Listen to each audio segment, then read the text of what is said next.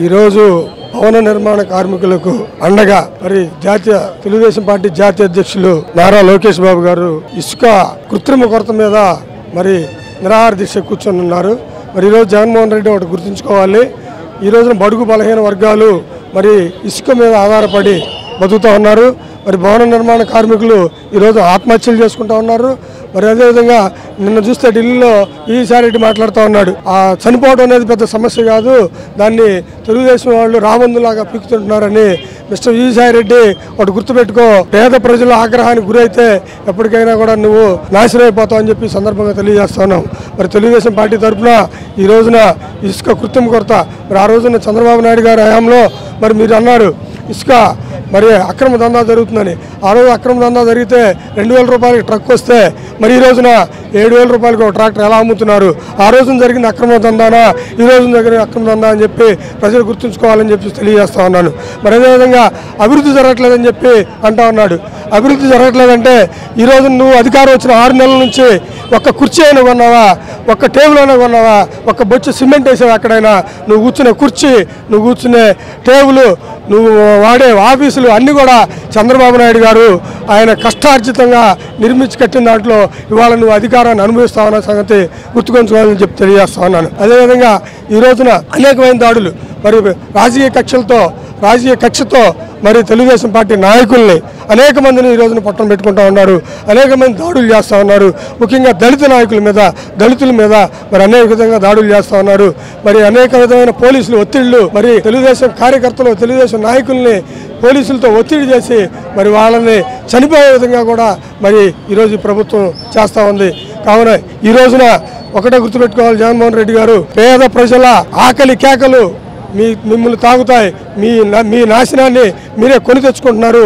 దయచేసి అర్జెంటుగా ఇసుకను వదిలి భవన నిర్మాణ కార్మికుల్ని ఆదరించాల్సిందిగా కోరుకుంటాం. లేదంటే తెలుగుదేశం పక్షాన మరి ప్రజా పోరాటాలు చేసి మిమ్మల్ని గట్టి దించే వరకు కూడా మేము తెలుగుదేశం పార్టీ నిద్రపోవని చెప్పేసి తెలియజేస్తా ఉన్నాం. నుంచి భవన నిర్మాణ కార్మికులకు ఇసుక అందిస్తాను అని తెలియజేశారు. మరి ఆయన వాగ్దానం చేసి గత నెల కాలం గడుస్తున్నప్పటికీ ఇంకా ఇసుక అనేది అందులో అందుబాటులోకి రాకపోవడానికి గల కారణాలు ఏమంటారు? ఇప్పుడు వాళ్ళు చెప్పే కారణాలు వరదలు వస్తున్నాయి వరదల వల్ల మేము ఇసుక తీయలేకపోతున్నామని చెప్తున్నారు. మరి ఇసుక తీయలేనప్పుడు ఇవాళ చూసుకుంటే మీరు అమరావతి రోడ్లో కానీ కొల్లూరు రోడ్లో కానీ ఇసుక వస్తూ ఉంది ఇసుక వస్తుంది. బయటకు వచ్చి ధారాళంగా వాళ్ళు ఏడు వేల రూపాయలకి ఒక ట్రక్కు ముప్పై వేల రూపాయలకి ట్రాక్టర్ లారీ అమ్ముకుంటా ఉన్నారు. మరి వాళ్ళు ఐదో తారీఖుతో చేస్తానన్నారు. కొత్త పథకం చేస్తామని చెప్పారు. కొత్త పాలసీ తెస్తామన్నారు వాళ్ళకి పాలసీలు చేయటం రాదు. కాబట్టి మేము ఒకటే చెబుతున్నాం. నీకు పాలసీలు చెప్పడం రాదు. చంద్రబాబు నాయుడు దగ్గర సలహాలు తీసుకొని ఇసుక ఇసుక ఇసుక ఎలా వదలాలి ఇసుక ఎలా వదలాలనేది చంద్రబాబు నాయుడు గారి దగ్గర కర్ఫ్యూ తీసుకోవాలని చెప్పి మేము కోరుతా ఉన్నాం. ఇసుక అయిపోవడానికి గత ఐదు సంవత్సరాల పరిపాలనలో ఇసుక మాఫియా అనేది ఎక్కువగా జరిగింది. ఆ కారణంగానే నేడు ఇసుక ఆగిపోతుంది అంటూ అధికార పక్ష నాయకులు తెలియజేస్తున్నారు. ఇవి ఎంతవరకు వాస్తవాలు? ఇప్పుడు గత ఎలక్షన్ అయిపోయిన తర్వాత ఎలక్షన్కి ముందు ఇసుక అందరికీ అందరికీ తక్కువ రేట్లోనే అందింది. ఎలక్షన్ తర్వాత ఎలక్షన్ పీరియడ్ కొంతకాలం ఆపారు. తర్వాత ఈ ప్రభుత్వం వచ్చిన తర్వాత మరి మేము కొత్త పాలసీ తీసుకొస్తాం. గత ప్రభుత్వం ఏదో అన్యాయం చేసిందని. గత ప్రభుత్వం అక్రమం చేస్తే ట్రక్కు రెండు వేలకు ఎలా వచ్చింది? ఇప్పుడు ఏడు వేల రూపాయలు ఎలా అవుతుంది ట్రక్కు? దీనివల్ల ఇసుక కొనేవాళ్ళు లేరు నిర్మాణాలు చేసేవాళ్ళు లేరు. నిన్న మంత్రి అంటా ఉంటాడు సిగ్గు లేకుండా మాట్లాడుతూ ఉన్నాడు పెద్దిరెడ్డి రామచంద్రారెడ్డి. ఈరోజు భవన నిర్మాణాలు ఆపుకోండి పనులు ఆపుకోండి అని. ఏ విధంగా భవన నిర్మాణం ఆపితే మరి ఆ దాని మీద ఆధారపడి బ్రతికే మరి ముప్పై లక్షల మంది కార్మికులు వాళ్ళు ఏమైపోతారు? వాళ్ళు రోడ్డును పడుతున్నారు. వాళ్ళ పిల్లలు భార్యలు అందరూ కూడా రోడ్డును పడి తిండి లేని పరిస్థితి ఏర్పడుతూ ఉంది. ఈ రోజున ఎక్కడైనా కూడా సంక్షేమ పథకాలు అది అందించు ఇది అందించు అనేది ఉంది కానీ పని అడుక్కొని బ్రతికే ఒక దౌర్భాగ్యమైన పరిస్థితి ఈ రాష్ట్రంలో ఈ ఒక్క రాష్ట్రంలోనే ఉంది మన భారతదేశంలో అని చెప్పేసి ఈ సందర్భంగా తెలియజేస్తాను. జగన్మోహన్ రెడ్డి గారు ఎన్నికల ప్రచారంలో తన ఐదేళ్ళ పదవీ కాలం ముగిసేసరికి అవినీతి రహిత ఆంధ్రప్రదేశ్ అందిస్తాను అని చెప్పారు. మరి ఈ విధమైన పరిపాలన ఉన్నప్పుడు అవినీతి రహిత ఆంధ్రప్రదేశ్ మనకి వస్తుందా? అసలు ఆ పార్టీ పుట్టిందే అవినీతిలో పుట్టిందండి. వైఎస్ఆర్ పార్టీ పుట్టకే అవినీతి పుట్టక లక్ష కోట్లు వాళ్ళ నాన్నగారు రాజశేఖర రెడ్డి ముఖ్యమంత్రిగా ఉన్నప్పుడు లక్ష కోట్లు సంపాదించి ఆ అవినీతిలో పుట్టిన పార్టీయే వైఎస్ రాష్ట్ర వైఎస్ వైఎస్ఆర్ కాంగ్రెస్ పార్టీ. అలాంటి పార్టీ అవినీతి లేకుండా చేస్తానంటే చాలా హాస్యాస్పదంగా ఉంది.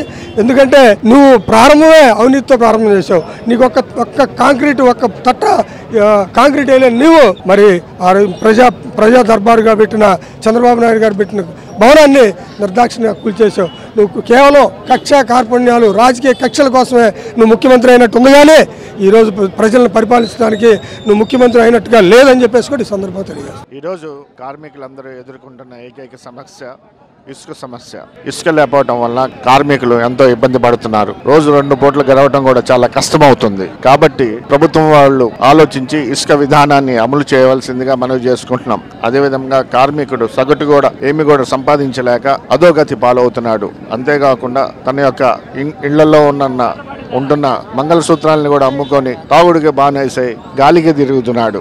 అదే కనుక కార్మిక కార్మికులు కనుక ఇసుకున్నట్లయితే వాళ్ళకంటూ ఒక పని ఉండేది చక్కగా హాయిగా పనులు చేసుకుంటూ ఇంట్లో కూడా సంతోషంగా పిల్లల్ని చూసుకుంటూ వాళ్ళు రోజువారీ కార్యక్రమాలు జరుగుతాయి. కాబట్టి పనులు లేకపోవటం వల్ల వాడు ఏమి చేయాలో అర్థం కాక అతనికి తోచక తోచకలేక మతిస్థిమితం అయిపోయి అధోగతి పాలవుతున్నాడు దురాఘాతాలు చేస్తున్నాడు. అన్నమో రామచంద్ర ప్రభు అను ఎటు చూసినా వెతుకుతున్నాడు. కాబట్టి కార్మికులకు కావాల్సిన పనులు వెంటనే సమకూర్చాలి.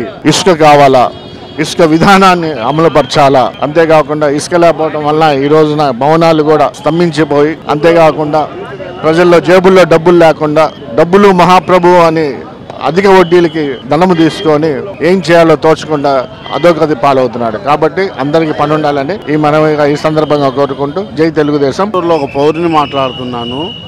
గత ప్రభుత్వం తెలుగుదేశం ప్రభుత్వం పడిపోయి వైఎస్ఆర్ ప్రభుత్వం వచ్చిన తర్వాత ప్రజలకి అన్ని రకాలుగా కష్టాలు పడుతున్నారు. ఇసుక ఇసుక తో తగ్గుతోటి ప్రజలందరికీ ముప్పై లక్షల మంది కార్మికులకే నాశనం చేశారు. అన్న క్యాంటీన్లు నాశనం చేశారు. ఈ ఈ నిరుద్యోగులకు వృత్తి ఇచ్చేదాన్ని నాశనం చేశారు. మధ్యాహ్నం భోజనాలు ఇంటర్మీడియట్ చదివే విద్యార్థులకు మధ్యాహ్నం భోజనాలు లేకుండా చేశారు. మధ్యాహ్నం భోజనాలు లేకుండా చేశారు. మళ్ళీ గవర్నమెంట్ ఇన్ని రకాలుగా నాశనం అంటే గత ప్రభుత్వం ఇల్లు పక్క ఇల్లు కడితే దాని మీద రివర్స్ టెండరింగ్ అని చెప్పి తయారైన ఇల్లు ఇవ్వటానికి కూడా చాలా ఇదిగా చేస్తున్నారు. మళ్ళీ ఒకటనే ఉంది జగన్ గారు దేశాన్ని రాష్ట్రాన్ని బస్టు పట్టించాడు. యాభై సంవత్సరాలు వెనక్కిపోయేటట్టుగా చేశాడు. ఎప్పుడైనా కానీ ఈ ప్రభుత్వం పోవాలని మేము అందరం కోరుకుంటున్నాము. మళ్ళీ చంద్రబాబు వస్తేనే ఈ దేశం బాగుపడుతుంది. లేకపోతే అప్పుడు దాకా నాశనం తప్పదు.